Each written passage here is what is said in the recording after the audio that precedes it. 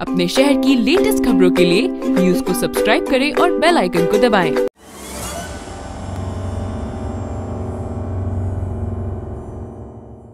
मुंबई की हवा और गोरखपुर की आप दोनों हवा देख रहे हैं। क्या डिफरेंस नज़र आता है जब आप यहाँ आते हैं? देखिए मैं I have done what 600 films चाहे 600 फ़िल्म किया हूँ मैं अभी तक।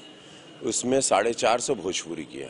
करेक्ट तो मैंने यूपी बिहार झारखंड ऐसा कोई गाँव है या ऐसा कोई जिला है या डिस्ट्रिक्ट है जहाँ पे मैं नहीं रहा हूँ या नहीं गया Gorakhpur I am coming from like last 2003 I been visiting here and made lot of films here तो ये इसकी हर गाँव और हर जगह से हम वाकिफ़ हैं।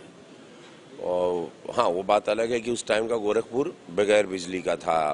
तो यहाँ रामगढ़ तालाब बहुत वाहियात था बदबू आती थी लाशें बहती थी एयरपोर्ट कनेक्टिविटी नहीं थी सड़कें नहीं थी।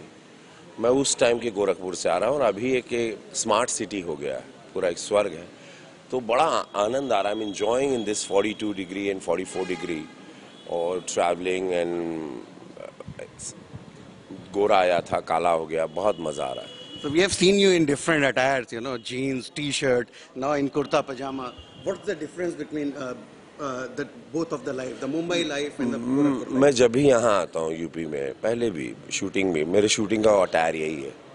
तो मैं यही पहनता हूँ तो it's nothing new very comfortable in this and because of the summer तो definitely and I love wearing jeans मैं जीन्स पहनूँगा भी ऐसा नहीं कि जीन्स नहीं पहनूँगा वो मेरी मतलब मैं जो कंफर्टेबल जिस चीज़ में हूँ बट एक कि आप रिप्रेजेंट कर रहे हैं आप आपकी ड्यूटी है तो यू हैव टू बी एक, एक इसका एक एक सिंबल है। कि आप कुर्ता में ही रहते हैं, आप और इसमें रहते हैं। तो ये भी एक मज़ा आ रहा है एक अलग लुक है।